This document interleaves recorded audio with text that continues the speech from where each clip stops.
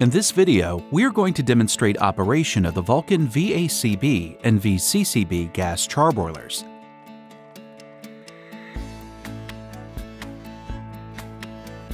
Both the VACB and VCCB charbroilers come standard with manual standing pilots. For manual pilot lighting, use an outside ignition source to light the pilot through the pilot access hole in the front panel. The end of the ignition source must be at least 7 inches long to reach the pilot. To light the burners, turn the individual burners on to the max setting.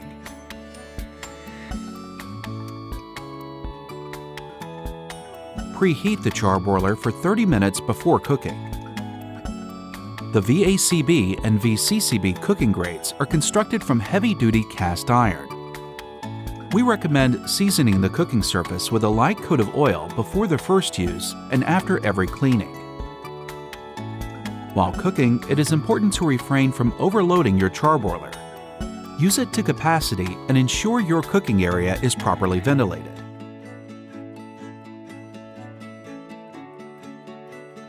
Throughout service, clean the charbroiler cooking grates regularly by scraping top grates with a wire brush. Do not allow debris to accumulate on the grates.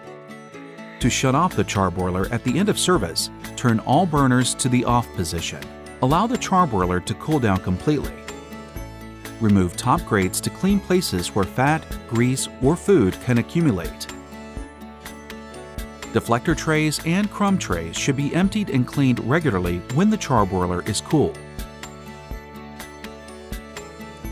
Clean stainless steel surfaces using a damp cloth with mild detergent and water. For more information, refer to the VACB and VCCB operation manuals on the Vulcan website.